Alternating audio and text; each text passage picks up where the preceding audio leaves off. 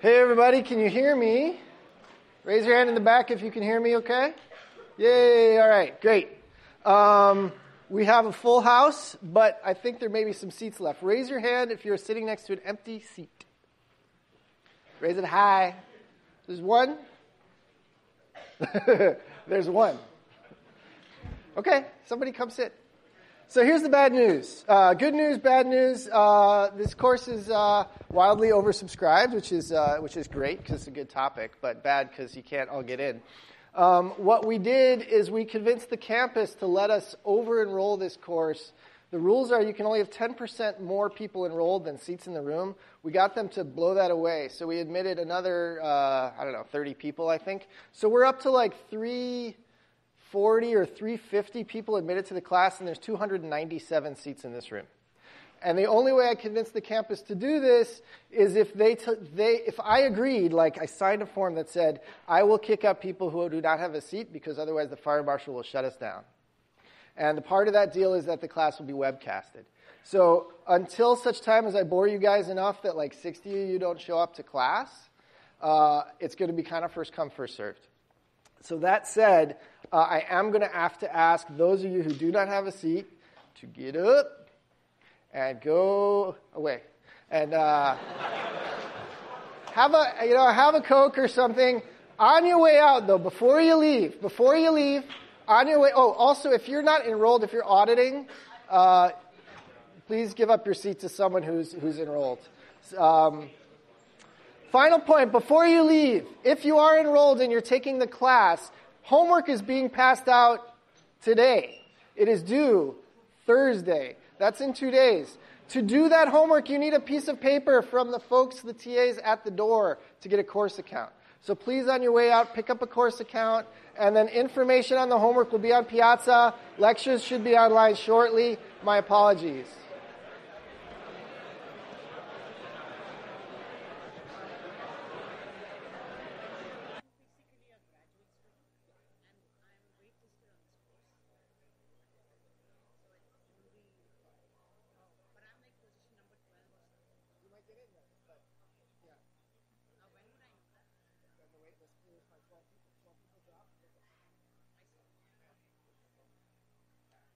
All right. Post, post. I'm sorry. Please.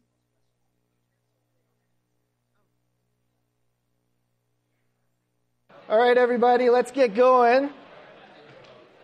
So I apologize once again, but we should try to we should try to jump in.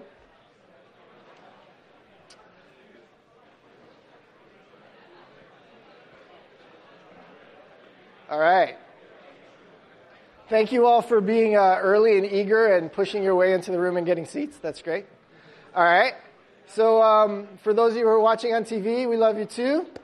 Uh, let's get started. So, uh, today, any class that you take, uh, you know, the professor really should answer these questions at some point. Why take this class? You know, what the heck? Uh, what will we be learning about? Uh, I forget even what who's about, but like who are we? I think is what that was about. Uh, how's the class going to work uh, logistically? And then, for instance, I'll give you just a little bit of a taste of the kinds of things we're going to be learning about this semester. A little flavor, uh, just enough to get you in trouble with your homework. Uh, and that's going to be lecture for today. So it's going to be rather light today. The rest of the semester obviously will be more technical, um, but today we're going to be kind of on the light side. Okay, why? Why take this class? Well, you know, I've been, well, first of all, a little note of history. The first lecture delivered in this room was this class, and it was me, and that was three years ago, which is kind of cool. So I love this room. Um, and three years ago, I could feel this happening, and now it has happened. But when I started teaching database at Berkeley in the mid 90s, I'm, I'm pretty old, um, like, there was nothing interesting about this topic. You know, I'd be like, data, it's really cool. There's all this really interesting computer science. And students would be like, hey, can we go, like, um, you know, program video games and figure out what that web thing's all about. We're not really interested in data.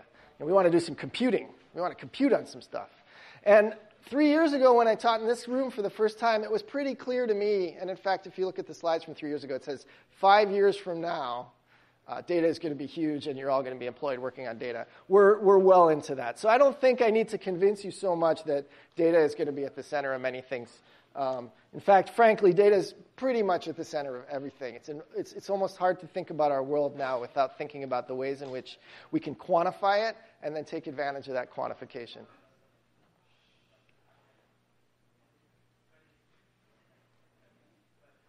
There is a, a, a mobile mic if you want to come on up and. All right, can you guys keep it down, please? Thanks. All right. Um, so, you know, uh, things like Moneyball, if you saw the movie or read the book, obviously data made the Oakland A's great. Uh, this was an interesting issue of Wired some years ago. You know, Wired's kind of over the top, but still they called it the end of science. And what they said was the quest for knowledge used to begin with grand theories. Now it begins with massive amounts of data. Welcome to the petabyte age, which already kind of ages it, right? It's like petabyte, you know, kind of big, not that big. I don't know. Um, so that's like four years ago. Um, and then The Economist, which is, you know, really mainstream media, started talking about this data deluge and big data in the early uh, 20 teens. Okay, and by now this is like everybody gets it. You know, you can talk to your grandma about big data, and she sort of at least has heard of it. So um, this is a thing. We all know it's a thing.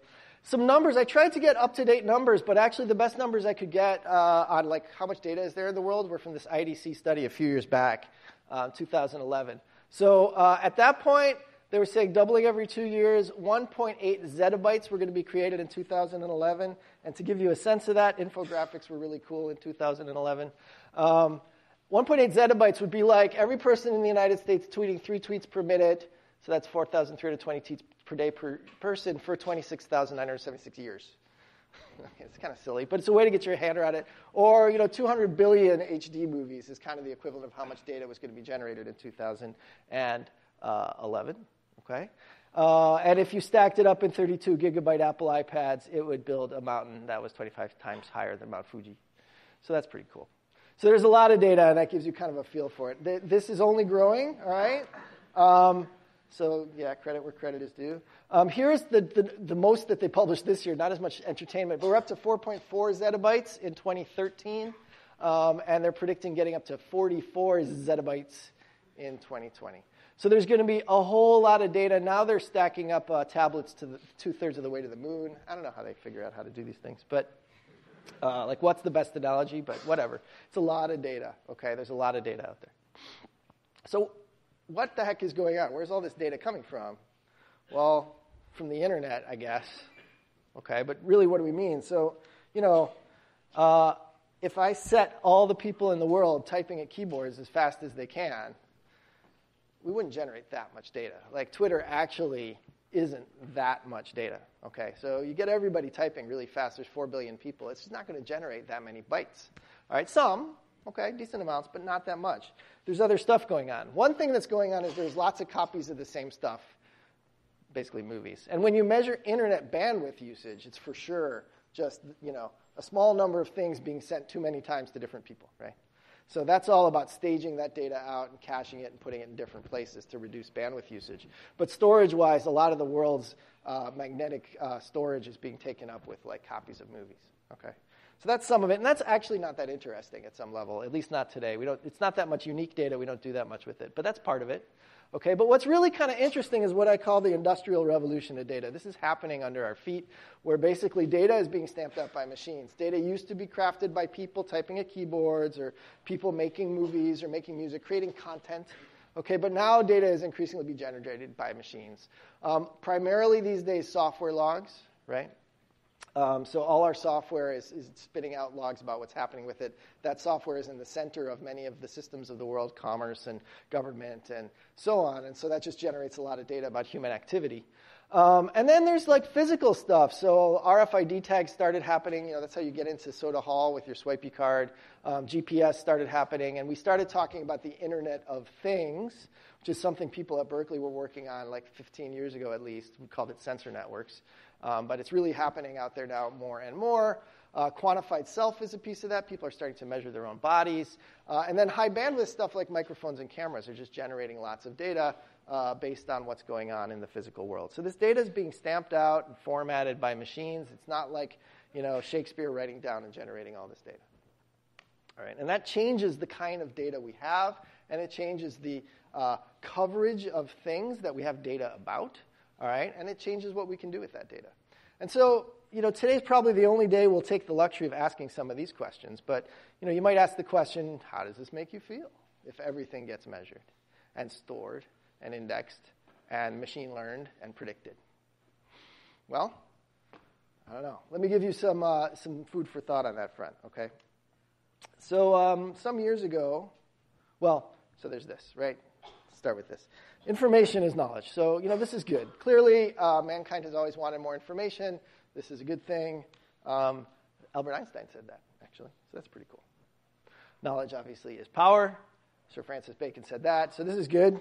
And then, of course, as you know, with great power comes great responsibility, which was said by Spider Man's Uncle Ben right? Um, so I think, you know, there's a subtext to this whole class, and there's a political science class, I think, right before us, right? There's a subtext to this whole class about what we as engineers are enabling and what technology is going to bring us uh, that I think, you know, merits at least a little discussion on the first day of class. Okay, so some years ago, back in the mid 2000s, I was working with a startup in the city, and they were hosting public data on the internet and auto generating charts and creating sort of uh, blog style discussions about the data. And one of the statisticians at the Organization for Economic Cooperation and Development, which is a European multinational organization, he got really excited about this. And this is what he said about the idea of having data online. This is like deep in the Bush era, by the way uh, so a little political context. Um, with a collaborative spirit, with a collaborative platform where people can upload data, explore data, compare solutions, discuss the results, build consensus, we can engage passionate people, local communities, media, and this will raise incredibly the amount of people who can understand what is going on. And this would have fantastic outcomes the engagement of people, especially new generations. It would increase knowledge, unlock statistics, improve transparency and accountability of public policies, change culture, increase numeracy, and in the end, improve democracy and welfare. Awesome. Okay. So, certainly, you can do lots of good stuff with data. Um, and I think increasingly, one of the other things, he's a statistician, so not surprising, one of the other things he's hinting at is that the ability for large numbers of people to reason about data is kind of key to a good society of the 21st century. Okay? So I think for, for all of us as engineers, computer scientists, potentially educators, mentors of people uh, as you grow, um, I think there's a lot of hope and positivity that you can uh, engage in in the ability to get data. And so you look at people who are trying to do like sunlighting uh, public data or trying to organize data.gov or things like that. There's a lot of public good that can be done by just basically increasing transparency of what's going on in the world through data and tools around data. Okay? So definitely some big positives. And I put that first because you know there's lots of negatives, right? They're coming. But there is a lot of positive to be done here. And I think you, you got to keep your eye on that and, and hopefully help with it. So Stephen Colbert has this awesome word of the day thing. I don't know if he still does this anymore, but some years back he, he got all excited about Wikipedia. Did anybody see these? He had Jimmy Wales on, on Colbert. It was awesome. So um, he defined this word called wikiality, like reality, but it's wikiality, and he said, together we can all create a reality that we can all agree on the reality we just agreed on. And so to illustrate this, he went into Wikipedia and he edited the uh, uh, topic on elephants to say that there was an overabundance of elephants in Africa and that people should start hunting them. And then he said, Nation, Colbert Nation, you have to keep this page up because people could just change it back. And so TV watchers were continually updating the elephant page to say there were too many elephants in Africa. So this created kind of a thing. And then Jimmy Wales, who's the founder of Wikipedia, came on the show, and uh, that was interesting. Um, Jimmy Wales, uh, so Colbert asked Jimmy Wales, you know, I hear you have Wikipedia in lots of different languages. Uh, and Jimmy Wales said, yeah, we have Spanish and this and that. And, he, and Colbert says, shouldn't that Spanish Wikipedia be in English? and Jimmy Wales said, oh, and man, now we're going to have to shut down the entire Spanish Wikipedia and lock it down because you're going to change it. So, you know, definitions will welcome us as liberators. So what does it mean when you let anybody update the official, you know, knowledge of the world? It's kind of fascinating. It's maybe not that fascinating to us. When Wikipedia was just happening, happening? Happening, it was a little more interesting. But still, there's some crazy stuff on Wikipedia. And it gets actually kind of interesting when you try to scrape data out of Wikipedia, not just the text, but the, the data in the info boxes. So here's one I ran across in a, in a conference talk. So this was a conference talk on a knowledge base that's being built in Germany called Yago which is used in a lot of AI projects. And they're scraping Wikipedia to get data about people, places, and things and use that as a knowledge base for doing various uh, uh, machine learning tasks around mostly natural language processing. So to try to extract people and places and other sort of common uh, uh, uh, constructs out of text. And they had this example about John Coltrane, who's a famous saxophonist and composer, right? And uh, they had the Wikipedia box of all of his um, categories that he fit in. And when you go on Wikipedia and you look for stuff, you know, they have these info boxes on the right, and it says all sorts of stuff that I knew about John Coltrane. Uh, you know, avant-garde jazz, and you could argue, right? Say that jazz, not, that genre doesn't make sense. He was not a hard bop guy. He was more of a I don't know what, right? He's more of a modal guy or something. But you could argue about that, but that's not what's interesting although it's up for debate. What's interesting is this he is a 20th century Christian saint. All right? Which is kind of weird. Although you may happen to know that in San Francisco there's the Church of John Coltrane where you can take your saxophone and go and, and, uh, and worship, actually. And in fact, he was uh, granted sainthood by a small American, African American church, which now it says has about 5,000 members.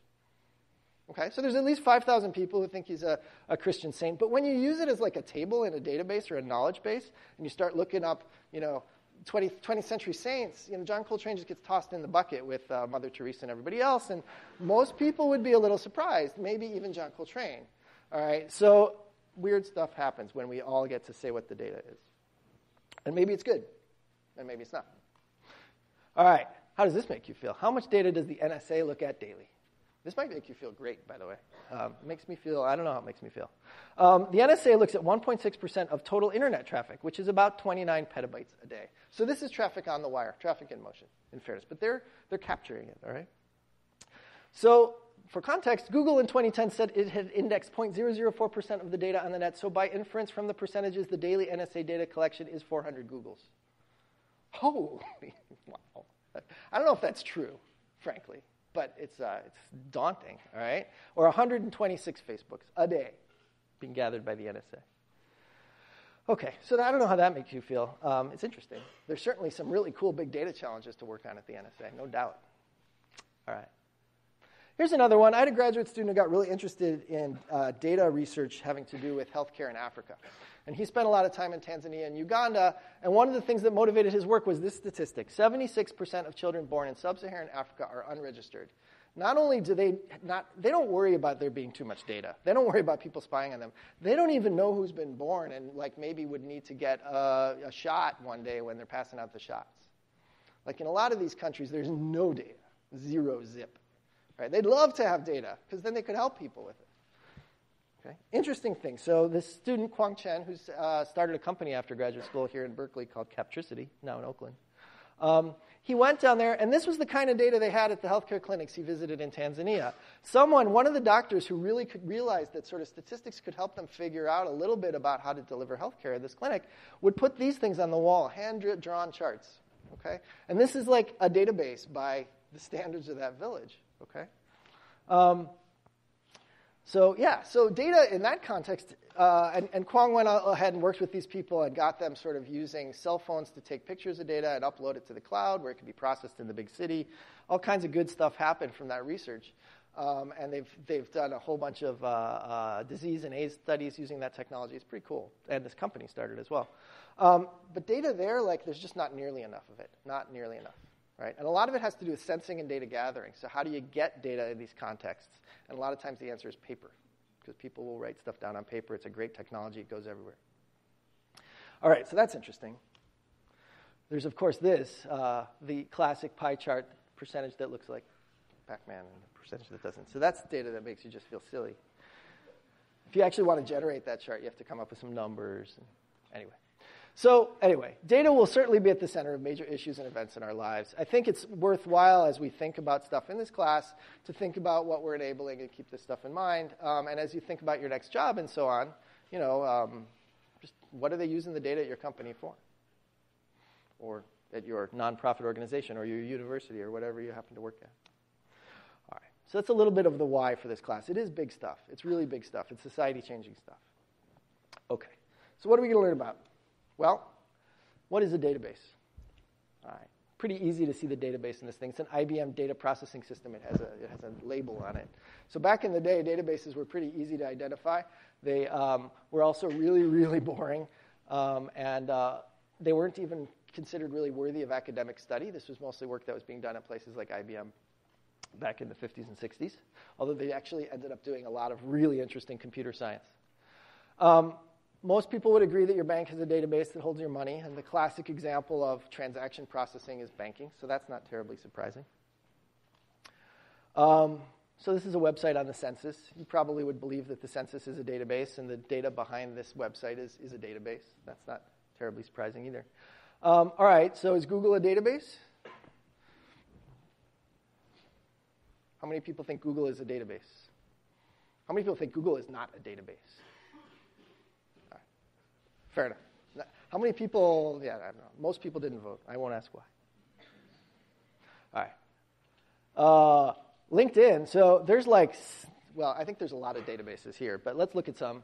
Um, say happy work anniversary to your friends who have a work anniversary. That's pretty much look up your friends whose birthday, who you know, whose work day equals today. So that's pretty clearly just a database query. That's pretty boring. Okay, what about this? Pulse recommends this news for you.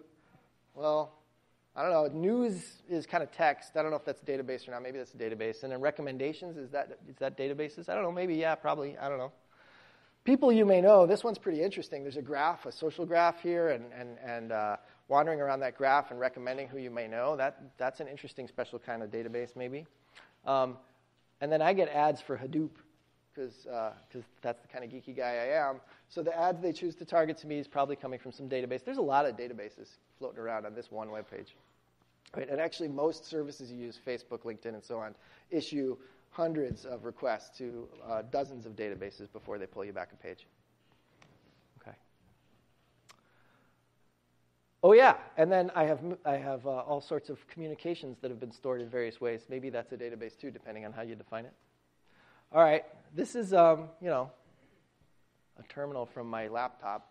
This is var you know varsys log. Is that a database? How many people think that's a database? How many people think that's not a database? All right.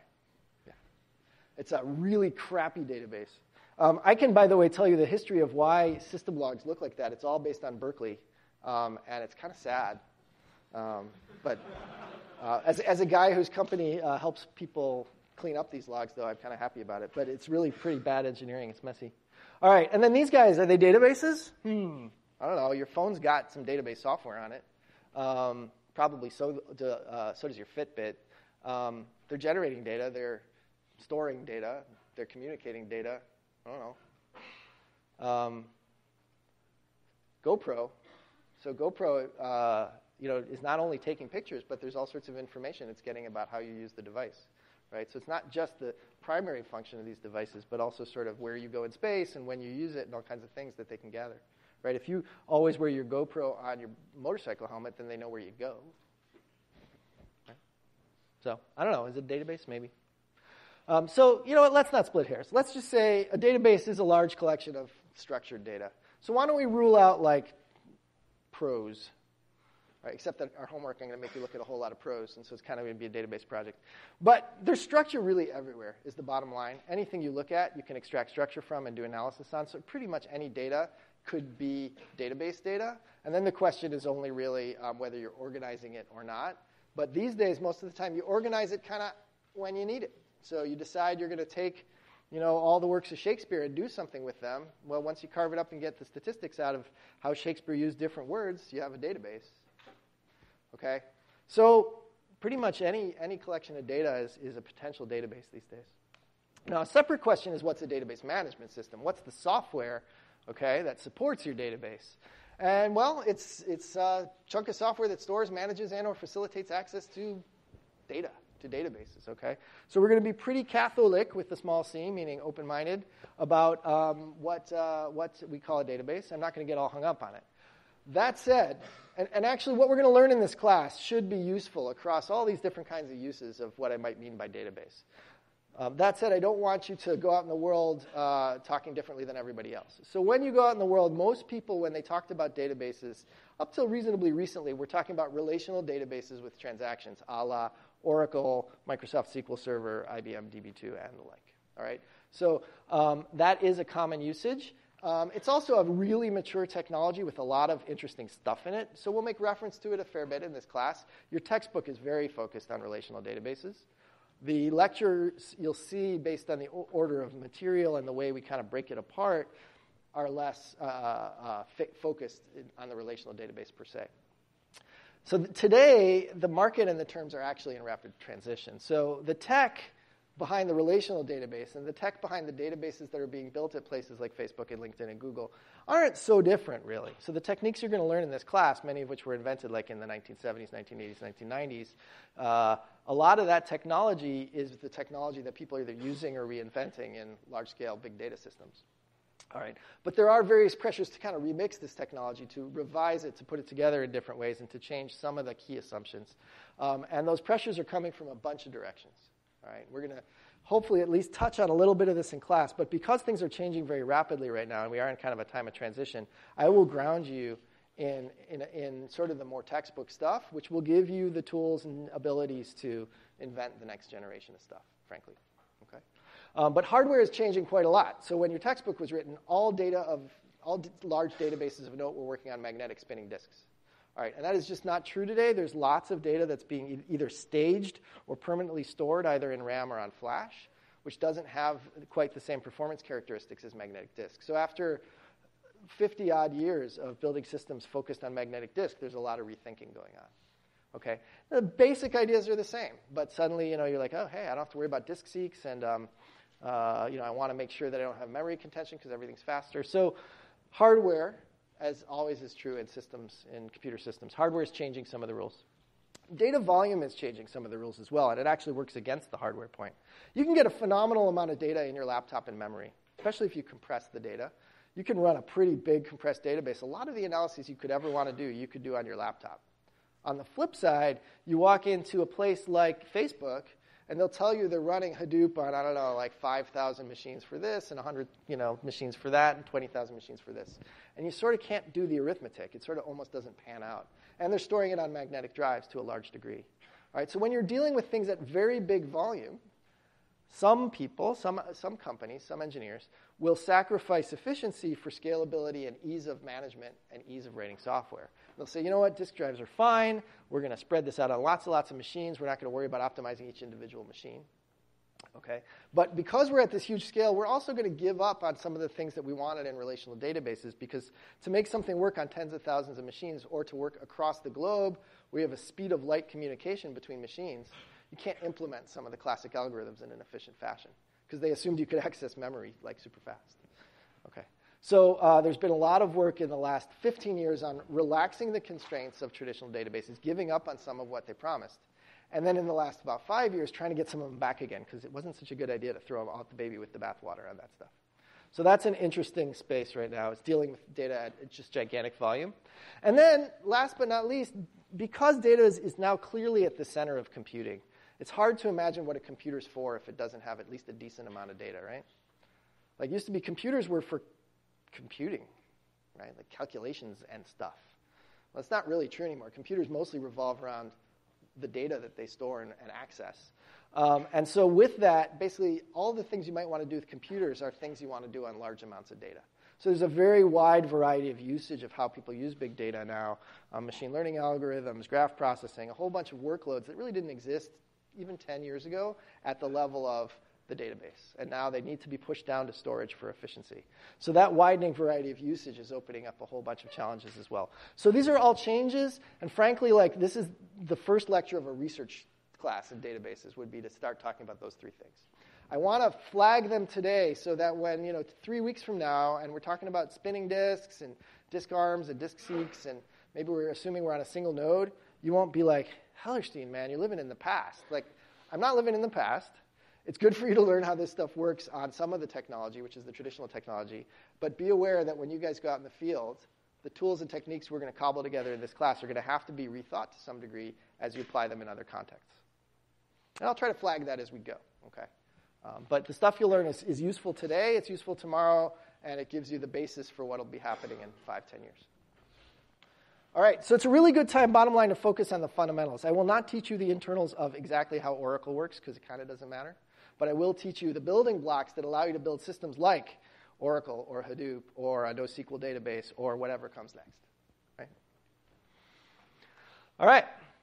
so, what is a database really? Or database management system, I should say. Is an operating system a database management system? So, this is a classic no, okay? Uh, and for many years, the OS and database communities distinguished themselves uh, based on this, sort of the software engineering communities and the research communities. Clearly, you can put data in RAM, so that maybe is a database. Uh, every programming language does this, really. So maybe uh, Python is a database system. Probably not. Um, it's fast. RAM is great. It's super fast. It's random access, so you can look at any part of RAM you want. And uh, that sounds awesome, right? So, what's wrong with that? But it gets better. Every operating system comes with a file system, right? It manages these things called files on a disk, usually a persistent disk, like a flash drive or a magnetic disk. It allows you to do things like open files and read files and jump around in them with seeks and then close the files, right? And it lets you set protection on the files. This file's unreadable. This file's only readable by me, etc. Um, so that's kind of like a database. What, uh, what are some drawbacks of, of a file system relative to RAM? Why don't we just put all of your Python state in the file system? What's the point of RAM? Yeah. All right, disk drives are still pretty slow. Even flash drives are pretty slow, actually. They're like at least an order of magnitude, probably multiples of order of magnitude slower than uh, RAM access, depending on various configuration issues. And um, I neglected to put into this slide deck, there's uh, analogies of like, this is how long it takes to get to memory, this is how long it gets take to get to disk. It's sort of like things that are in this room versus things that are somewhere on campus. You know, it's that kind of thing. It's like an order of magnitude or more time to get things that are on disk. So it's slow.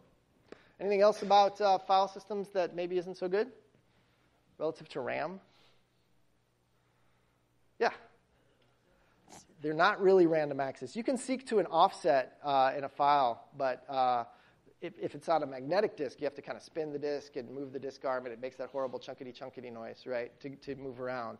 Um, and it doesn't have memory cells the way that, that RAM does, and you don't have a language layer on top of it that lets you follow pointers around quite as nicely. So it's not really a random access device. RAM is random access. Yeah. Ah, interesting. So what I heard you say was it might be getting used by other programs. So the API to the file system is shared across multiple processes in an operating system. And if you remember from your operating system class, one of the first things they do is virtual memory, which pre- prevents multiple processes from accessing RAM, right, at the same time. So there's something in the file system that might worry you with multiple processes going on. Now, multi-threaded programs have the same problem in RAM. Okay. So concurrency, which is a, another word for this, is a problem that actually comes up in multi-threaded RAM-based programming as well, but it came up earlier historically in places like file systems and databases. So that's an excellent point. Okay, so here's a thought experiment related to that, actually. You and your project partner are working on homework one, which will be passed out today. All right? You both, let's say you were doing it on the Inst machines, which you're not, uh, which is good, but supposing you were, um, and you were both you know, running VI or your, or your favorite editor on the same file, and you both save at the same time. Okay, so we're going to do a little poll. You both saved your changes to the file at the same time. Whose changes survive? A, yours. B, your partner's. C, both. D, neither. Or E, question mark. Uh, could I get a vote? How many people raise your hand if you believe A is always the answer? How, how about B? Is B always the answer? Is C always the answer? D? But E? Yeah, pretty clearly, right? Non deterministic what the heck's going to happen, including things like the file is destroyed, you know, all kinds of crazy things could happen. It's very, very bad. File systems do not like you to do this, and they don't help you with it that much. All right, here's another thought experiment. You're working on your file, and the power goes out. All right, which changes survive? Well, nowadays you have a battery in your laptop, so it's not so bad. But uh, all your changes survive? None? All since the last time you pressed the little picture of a floppy disk at the top of Microsoft Word? you believe they still have that icon? Uh, which changes survive? I don't know. I mean, the floppy disk icon is awesome, right? Because you, you click on this thing that looks like a storage device from 1988, and then, um, like, some pixels make it look like you pushed it in as if it were a real button. And then the power goes out. So was it saved? I don't know. What about when it the button comes back? Is that is that better? Like nobody knows, right? And then, I don't know if you noticed this, but Microsoft has a very sophisticated operating system that they've been working on for like two, three decades um, with a very fancy file system underneath it called NTFS. It's got all kinds of logging and recovery built into it. But what happens when you start up your machine after you crash in the middle of Word? You start up Word again, and what do you see? Recovered file number one, right? So the guys in the, in the Microsoft Office division have implemented their own recovery algorithms. Why? I guess because the Windows file system guys weren't getting it right, right? That should make you nervous. Okay? It's weird when the same vendor is doing recovery at the application level and at the system level. It suggests that they're not using shared components that are reliable.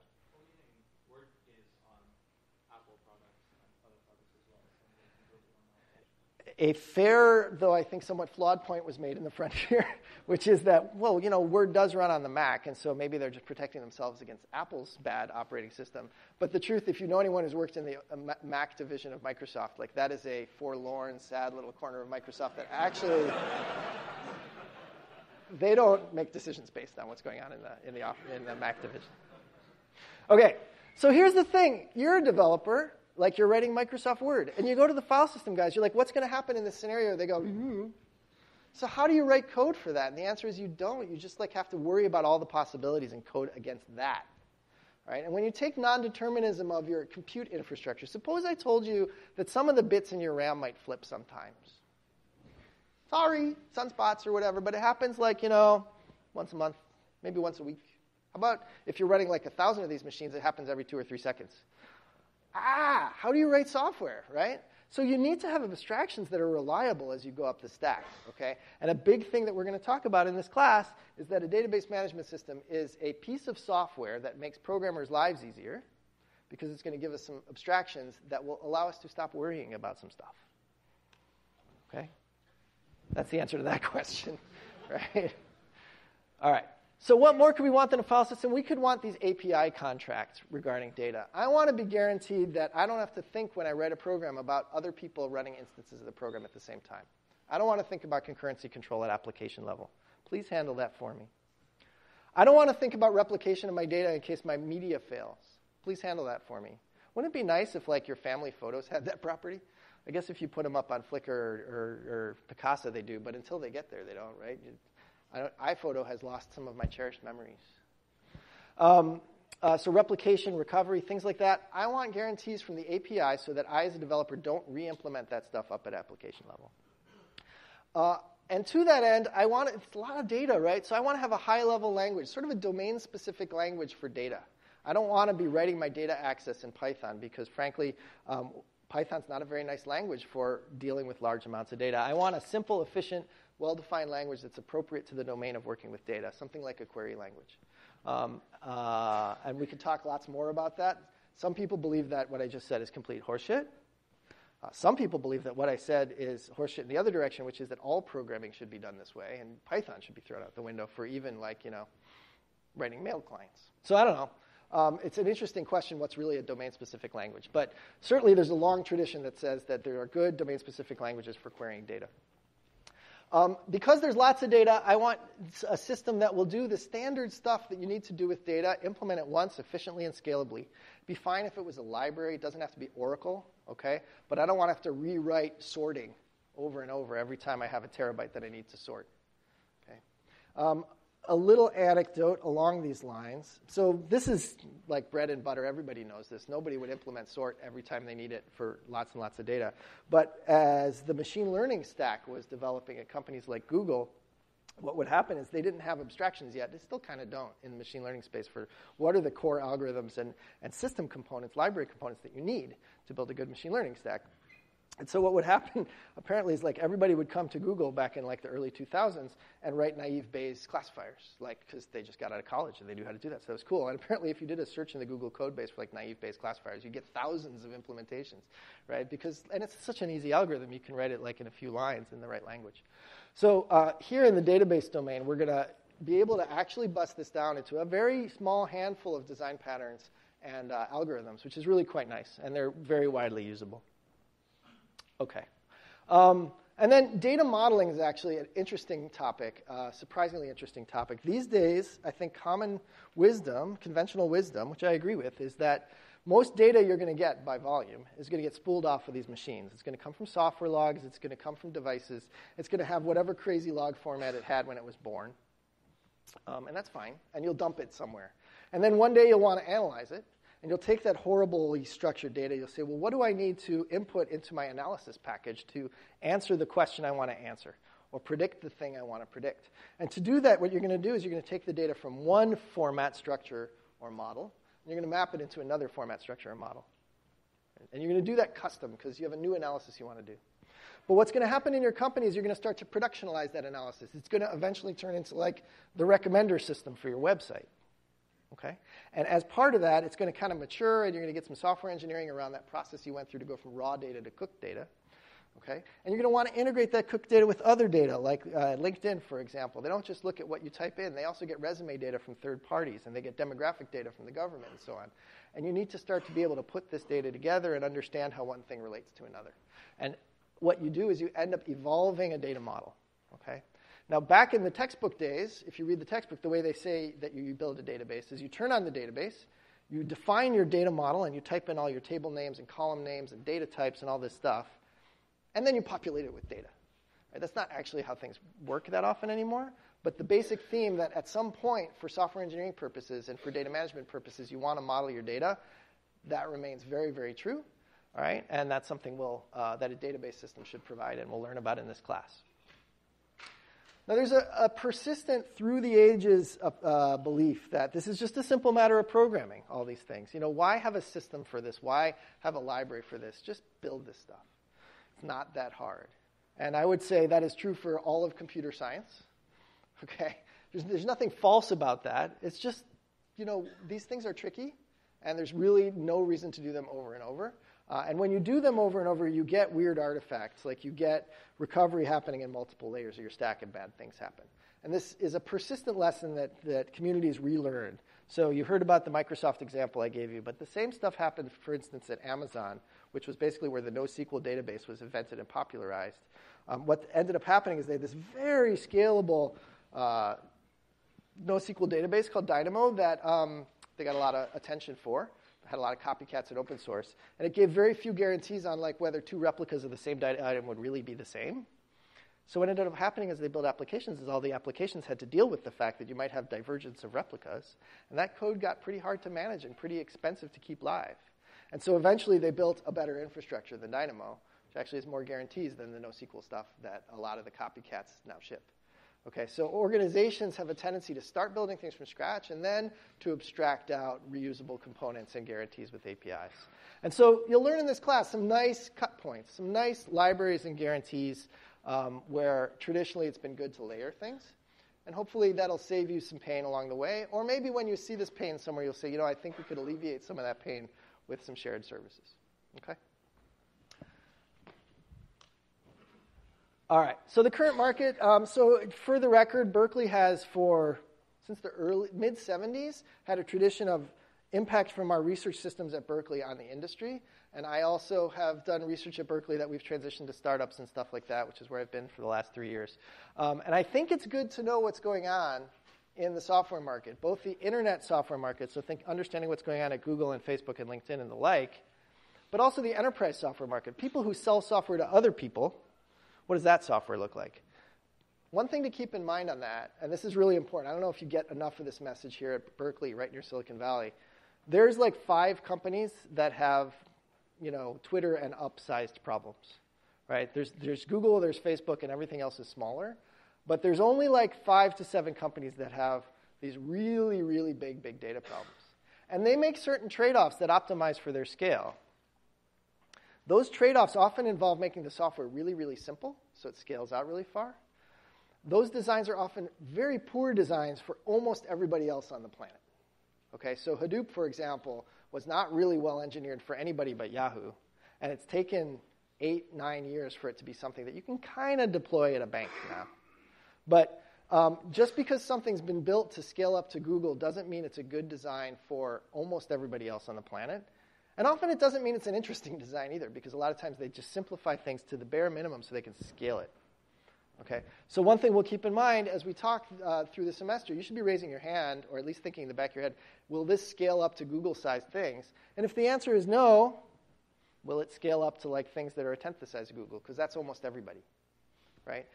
So keep these things in mind. As you talk with companies in general, lots of technology is almost more interesting sometimes and certainly more widely beneficial when it's done at a scale that most people can use. Okay?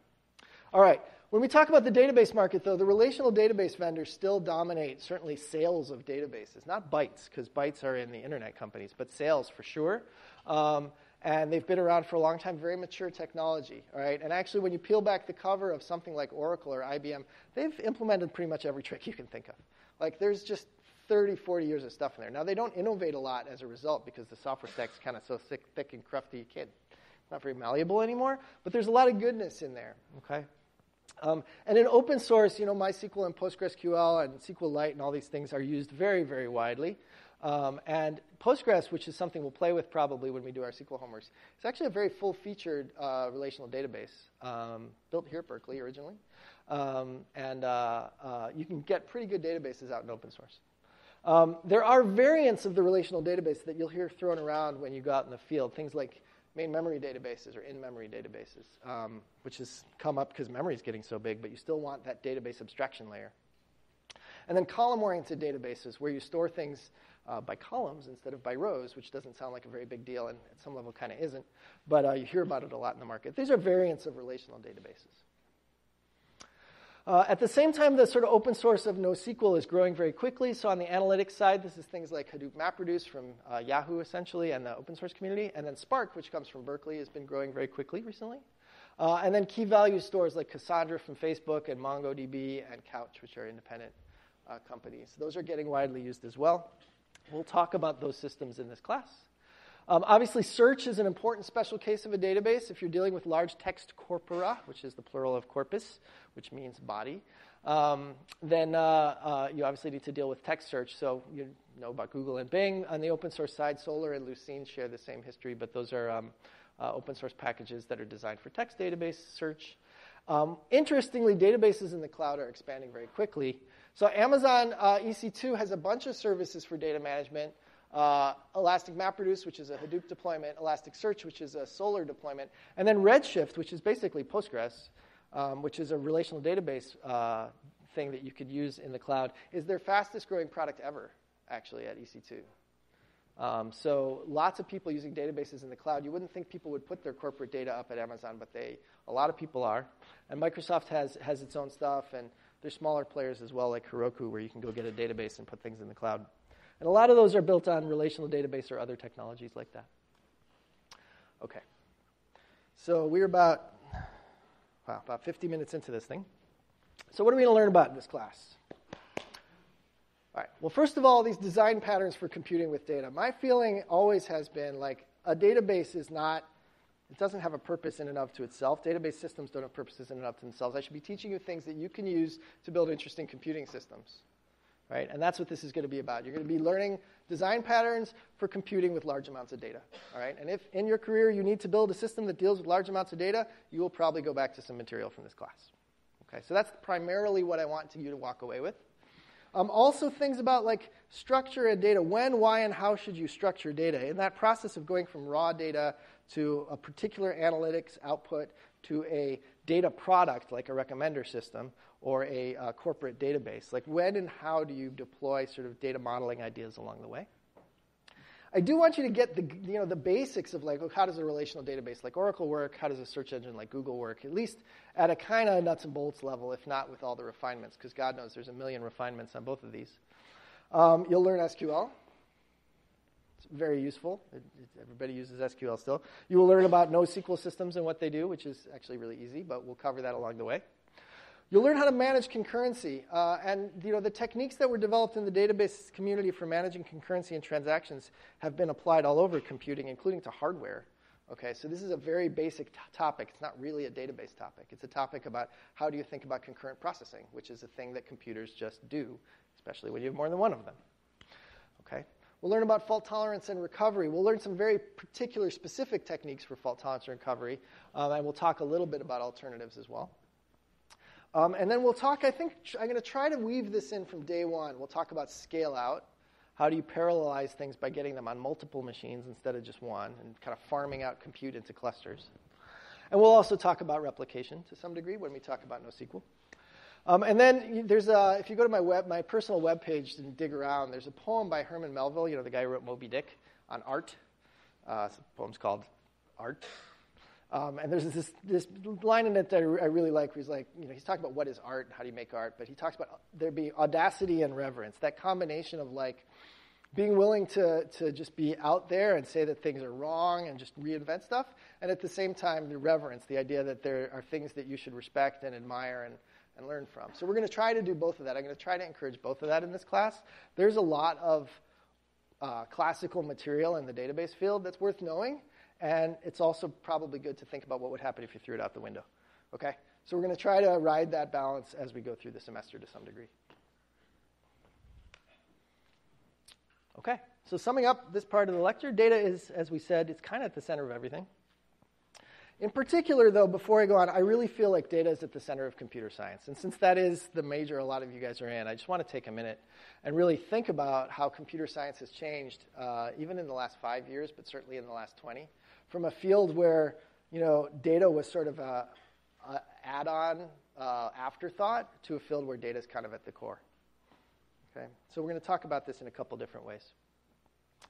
But uh, fundamentally, you might think in this class we're going to learn to apply computer science to big data. It's actually the other way around. We're going to learn about stuff in this class that's going to allow you to do computer science. All right, because computer science going forward is going to be about large volumes of data. It already is today, frankly. Okay, so this class should really apply very broadly. All right, and before I go on, just a little more rah rah, and then we'll get into some of the details. Um, this is a slight adaptation of what I said three years ago. This was the stuff where I said, oh, in five years. I left it on the slide, actually. I should have changed it. So, three years ago, I said in five years, those professions would become very big professions. So, we're three out of five years into it. People who program cloud systems, yeah, that's a big thing. Right? A lot of the jobs you might be looking at coming out of this school will be building systems that scale up to Amazon, Google, you know, Microsoft, uh, Azure, or uh, Facebook type of sizes. Data scientist was like a, people weren't even willing to say that it was a term three years ago, and now it's very clearly a growing field. Um, we have a data science class at Berkeley. There's a data science major at Berkeley in the iSchool, um, and there's lots of people hiring data scientists. Okay, data engineer is kind of one that still hasn't caught on as a, as a word, but lots of people who work in IT around data systems are essentially engineering pipelines to build data. A lot of those cloud programming tasks are data engineering tasks. Machine learning architect, what does it look like to build a stack for machine learning? These are things that are emerging today. You know, not just what's a clever algorithm for better clustering, for example, like you might learn in a machine learning course, but how do you build a pipeline so that you can build, say, a recommender system or a fraud detection system? And what do the pieces of that pipeline look like? The engineering side of machine learning is really just emerging. But in I said five, three years ago, in five years, it'd be a large fraction of the computing workforce, and I still think that you guys have a chance to be leaders in this space because it's not too late. This is still emerging. So now is definitely the time to jump into these data-centric pieces of the field. Okay. A little administration. So who are we? So briefly, I want to introduce uh, four out of the five TAs, and I'm Joe Hellerstein. So just uh, background: uh, I joined Berkeley in 1995 out of graduate school. Uh, I've been here since. I've had various meanderings through industry. I ran a research lab for Intel. I've been involved in a couple startups, including one that's still ongoing, um, uh, mostly in the database and internet kind of area. Um, and uh, what, what else can I tell you? Uh, I went to Berkeley for a year, so I'm a Berkeley alum, so that's good. Um, that's probably it. And then I'll let these guys introduce themselves. You want to go first? And actually, I'll give you the microphone real quickly. Uh, hi, uh, I'm Derek Leung. I'm a third year computer science and math major here at Berkeley. Good. Hi, guys. Uh, my name is Vikram. Uh, this is my last year at Berkeley. I taught 186 last spring, and yeah. Hey, I'm Michelle, and this is my last year at Berkeley as well. I'm Jay, and I'm a third year. And I'm Anthony, and this is my last year at Berkeley as well.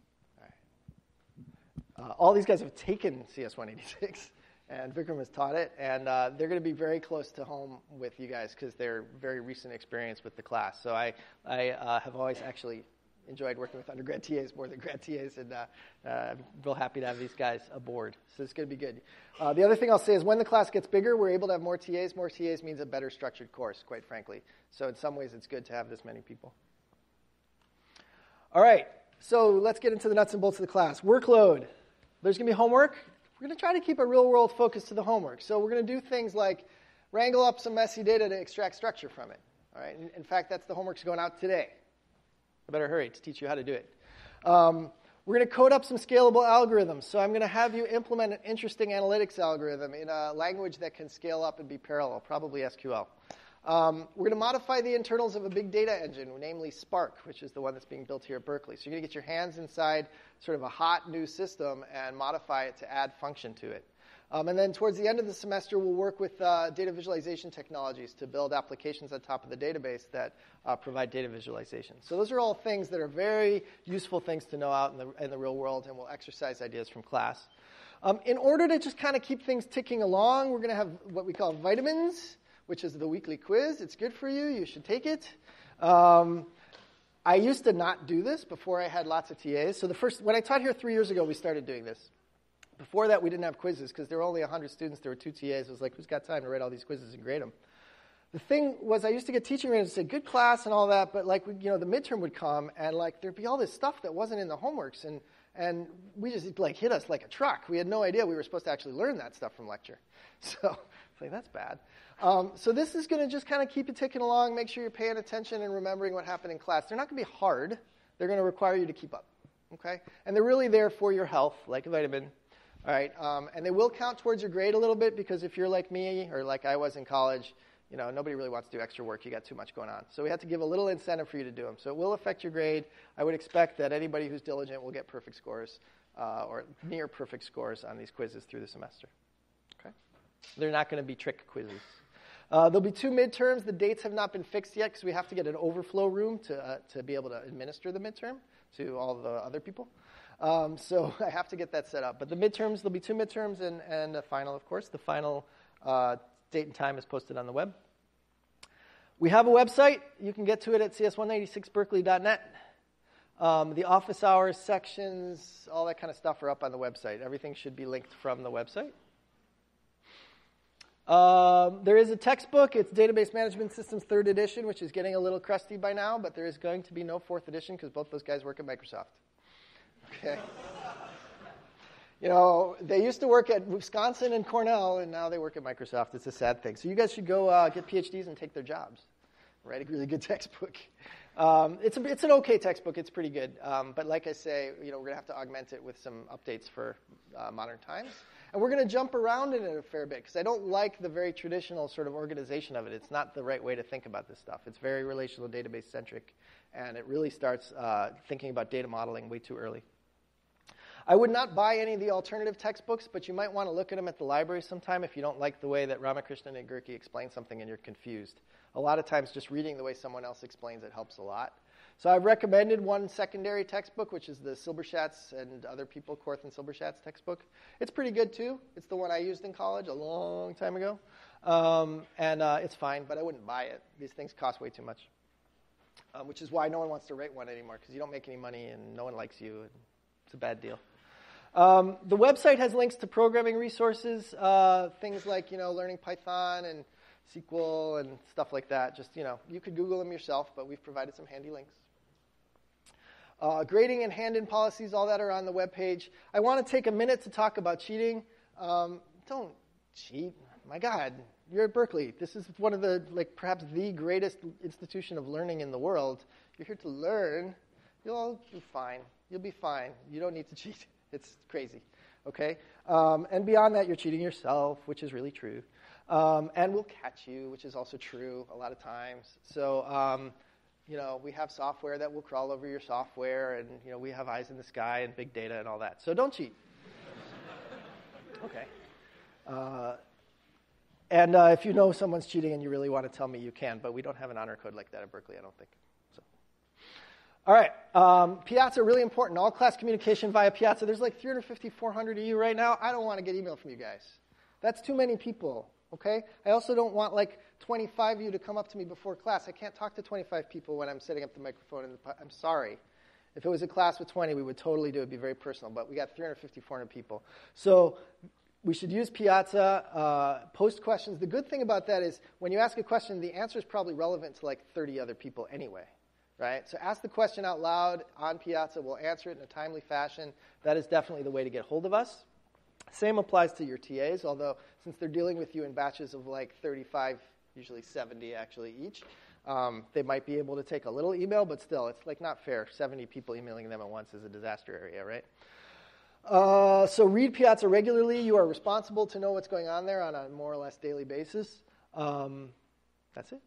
There will be homeworks. The homeworks will be either solo or in teams of two. If uh, you will have to stick with your team of two through the semester, so please, you know, uh, do your speed dating this week because next Tuesday we will pass out our first two-person homework assignment. Question. So right now, discussion sections we're going to try this week. You can go to any discussion section you like. All right, a lot of them are double, they're two at the same time. Sometimes there's one in like Wheeler and one in Etcheverry. So you might, if you like want more attention, I would walk over to Wheeler, just because like a lot of people would be too lazy to do so. Um, we're going to try that this week. If uh, we get too much skew, you know, some sections are too big and others are too small, just by happenstance, um, then maybe we'll randomly allocate you guys. But for now, we're going to just say go to whatever section you want, and we'll see if that works. Okay? Good? All right. We're going to have to take a little time to learn some computer science now. Um, yeah, so here's the thing two homeworks are being passed out now, right now. First one is homework zero. It's worth zero points, which is cool, but if you don't do it, you get kicked out of the class, which is bad. Okay? So this is just to make sure you register with GitHub and you get a course account and all that stuff so that we can deal with homework one. If you don't have sort of like the wherewithal and the moxie to sign up for GitHub and and fill out your course account and log into your instructional account in the next two days, well, then you probably don't want to take the class, right? And there's a hundred other guys out in the hallway who do. So please do this by Thursday, or you know the consequences we will probably boot you from the class. Okay, it's it's going to take almost none of your time. Do it. You have two days. It's 48 whole hours. I know you don't sleep anyway. Go for it. Homework one is due in a week. Homework one's a real homework. It's not hard, but it is kind of. Mm, take some time. I did it over the weekend. It took me uh, some hours. So, you know, it'll take you some more hours. Um, but it's not hard. In fact, it's so not hard that like there's almost no instructions other than how to set it up because you're basically just going to figure out how to do it yourself. But in the next 15 minutes, I will teach you what you need to know to do homework one. Um, and details on the GitHub repos and all that stuff are accessible from the course website. Um, the interesting information, like the how-tos for homework zero and homework one, are both on GitHub. You can read them on the web first if you don't know how to use Git, uh, and they'll, t- they'll step you through all the, the details. Okay, so a little for instance, let's learn a little computer science, just a little bit at a high level, enough to kind of get you dirty with your homework. This is what's called a von Neumann machine. How many of you guys saw the new Alan Turing movie? It was okay. It was a little boring, but it was okay. I would go see it. It's like history and stuff. Um, anyway, the, von Neumann was another math guy. He was Hungarian, though, he wasn't British. And uh, he came to the States, uh, and bad things didn't happen to him, which is good. Um, and he defined the kind of architecture that we've built for our computers. It's called the von Neumann architecture. And um, all our computers and programming languages basically use this abstraction for how a computer works. You have a CPU. That CPU has stored instructions in it. Those instructions are executed by a program counter in order. Like one, read something. Do two, do something. Three, write something. Four, go to one. Like that's a program, okay? And then there's a, a memory bank where you can do the little reads and writes, uh, and you can put little numbers in that memory bank, okay? That's a von Neumann, von Neumann computer, all right? It's different from a Turing machine abstractly, okay, but this is the model of computing we, we use. And when you think about Python or Java or Scala or almost any language you would use today, it kind of like that. There's kind of this linear order of instructions, and these things you can put values in and take values out of, and you can kind of go to in one way or another with function calls and recursion, and, right? They're still von Neumann computers, single threaded, if you like, until you decide you want two of them. Okay, and then you have two threads, but they're two von Neumann machines, right? You're just you're still thinking von Neumann, okay? Oh, and then by the way, there's data. Boing! Where does that go? I don't know. They didn't have data back when von Neumann was doing computers, all right? They really barely had storage. And it's not part of the computational model. It's kind of it's over on the side. There's some special command that can like push things out of the memory bank into the database. All right? That's what Unix is too. That's what every programming language you're likely to work with, except maybe SQL is. This, well, maybe not MapReduce either, but most programming languages are like, this is terrible, all right? Because this is not the way the world is. The world is the database and like a whole lot of computers. It's not one little single computer with one ordered list of instructions, right?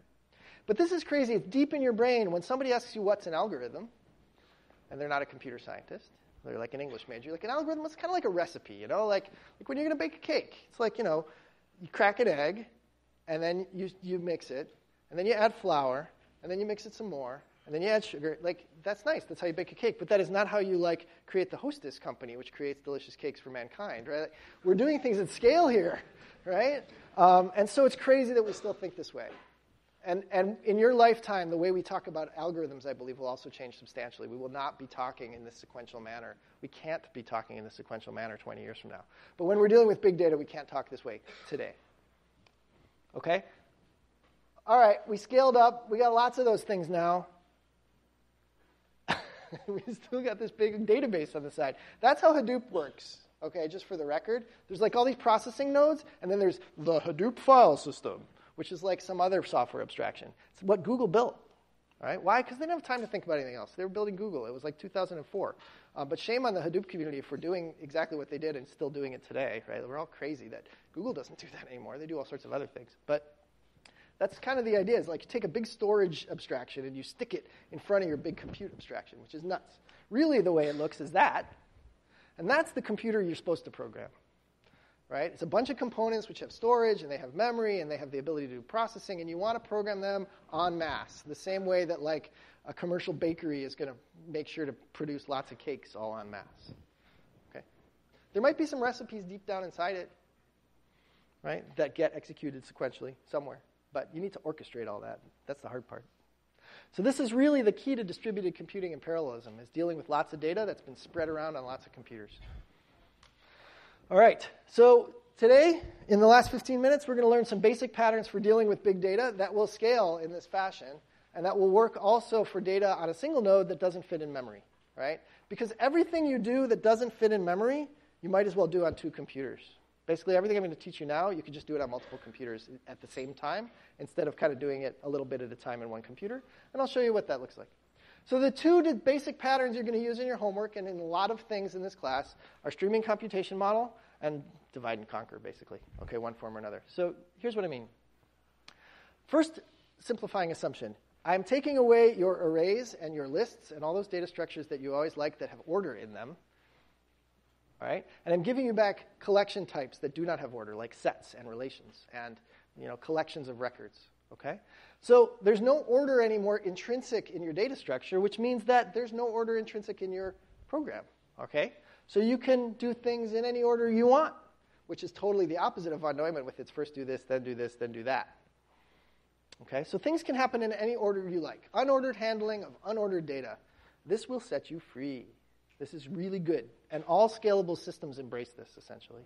So, disorder is a friend of scaling. When you can order things to your liking, you can do things like reorder stuff for cache locality. You can reorder things to make sure that two items that need to show up at the same time do, even though maybe they're going to arrive at different times from different places. So you can postpone some stuff. You can work on things in arbitrary batch sizes. So if your memory on this machine is smallish, but your memory on this machine is biggish, you can do smallish amounts of work here and biggish amounts of work there. So you can pick your, pick your batch sizes to fit that. Also, remember, memory is a hierarchy. You've got your L1 cache, your L2 cache, your RAM, your flash, your disk. And you may want to move data in and among those, those uh, levels of the memory hierarchy. And you'd like to do it in a way that's efficient, which means that you want control over the batch size. And you can do that if we don't care what order you do things in. It's okay, for instance, if some data comes at you, you're like, later for you, I'm going to put you over there for now, I'll get back to you later. That's fine, because it doesn't matter that you handle things in order. Okay? And most importantly, if the ordering doesn't matter to the semantics of your program, then you can tolerate non determinism in ordering, i.e., parallelism. So if this machine races faster than this machine, that's fine. They're working on different items. These items get handled first, no big deal, because we didn't care what order they got handled in anyway. So the key to parallelism without coordination is the ability to have disorder in your program and tolerate non-determinism of ordering. Okay, so this is going to be a great thing. I'm taking away your lists and your arrays and giving you sets. All right. Here's the thing, though. Data tends to arrive often in streams. It may not come in any particular order, but it often comes, at least at one node, in an order. And what we want to do is we want to take all that data, and it might be big. It might be a petabyte of data or a terabyte of data, and maybe all you have is your laptop. All right, let's, call, let's say you have 100 gigabytes of data, and you want to stream it through your MacBook, okay, and work on it. Well, here's a simple case. All you want to do is for every item that, that's in that collection of data, you want to apply a function to it, f. Right? This is like the map operation from MapReduce, okay? So the goal is to compute f of x for every record and write the results out to another big disk drive. And the challenge is to do this in a small amount of RAM and to not call that read-write interface too often because every time you invoke read or write, the operating system does all kinds of crazy things and devices get involved and it takes time. All right, so you want to amortize so it means get the most out of or take a lot of activities and pay for them only once. Amortize the cost of those reads and those writes. So here's a basic pattern for streaming. It's the simplest thing ever, but you'd be surprised how often people don't do this. So the naive thing you'd do is you'd say, well, oh my gosh, I've got this file. I'm going to have to work on it. So the first thing I'll do is I'll bring it into memory, and then I'll iterate over the items in the file. It's like, well, that's not going to work, all right? Because the minute you try to bring that file into memory, you're dead. But that's what you do when you open a file in your editor right? You're like, oh, cool, I got a new data file. I'm going to look at it in Sublime Text. You like open it up, and it goes, right? Because it's loading the whole damn thing into memory, which is insanity. So we're not going to do that. We're going to stream. We're never going to have the whole thing resident in memory at the same time. But we'd like to use memory efficiently to amortize reads and writes. So watch this. The approach is we're going to read a sizable chunk, whatever seems to be appropriate to amortize those reads and writes, into an input buffer in memory. So we'll read some stuff. We'll copy it into this input buffer. And then we'll start picking things in RAM. So this box is RAM. We'll start picking things one at a time out of the input buffer, applying f of x to them, and putting them back in RAM in an output buffer. Okay? And then there's two rules to keep in mind. When the output buffer is all filled up, it's going to be a fixed size. When we fill it up with stuff, when it, the minute you put something in it, it says, oh, I'm full now, then write it to the end of a file, and then erase with the buffer. Right? The other rule is when the input buffer's got nothing in it, get some more stuff all right, a buffer load. And that's all. And the one thing to keep in mind is that based on f of x, those things may not be synchronous. So, for example, imagine that f is compress. So you get big objects in, little objects out. So you might read 100 big objects. Each one of them gets compressed by 10. You fit 1,000 compressed objects here before you have to write it out. So you will do 10 reads before you do a write. Right? And that's okay. That's fine.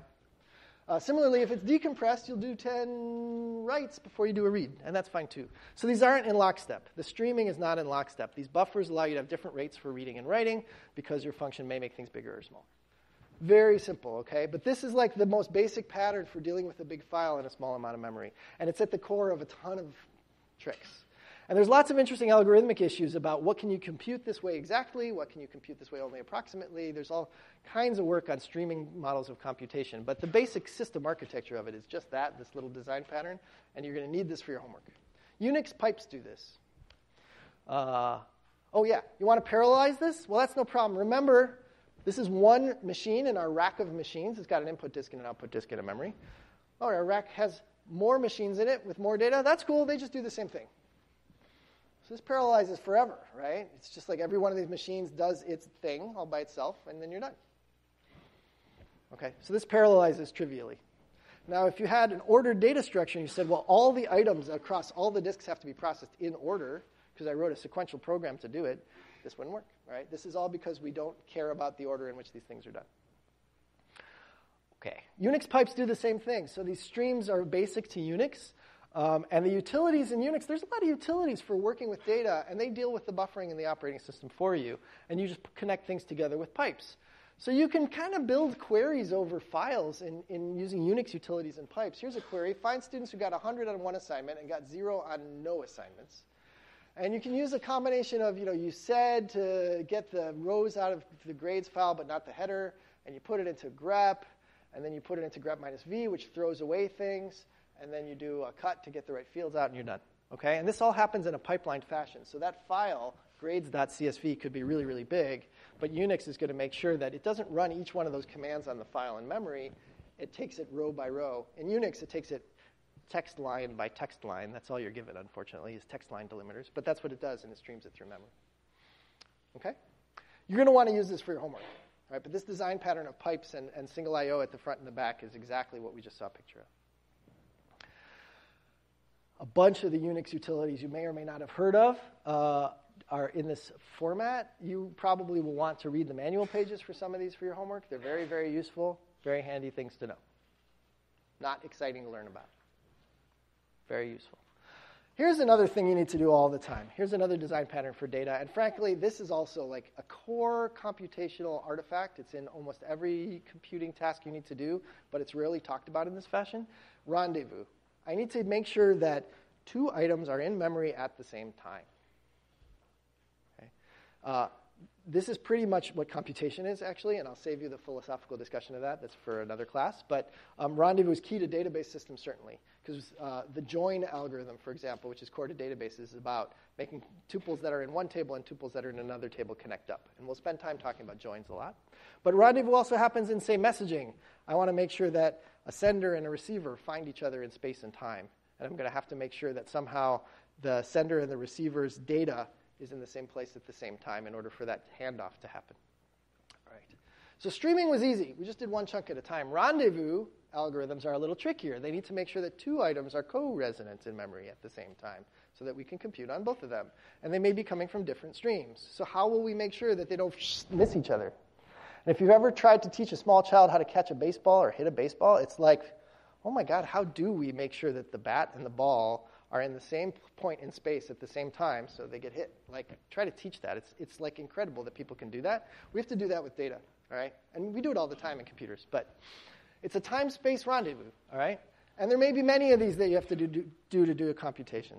So rendezvous is trickier than streaming, and usually we do it with divide and conquer. What we'll do is we'll divide up the data set into things that couldn't possibly rendezvous with the same stuff.